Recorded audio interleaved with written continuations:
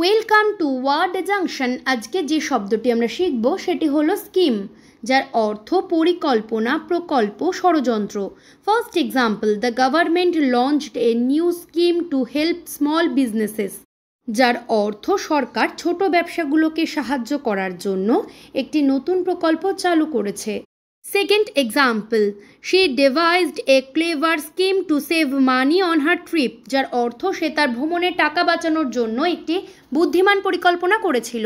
এই ভিডিওটি ভালো লাগলে ভিডিওটিকে লাইক করে চ্যানেলটিকে সাবস্ক্রাইব করে আমাদের পাশে থাকবেন। ধন্যবাদ।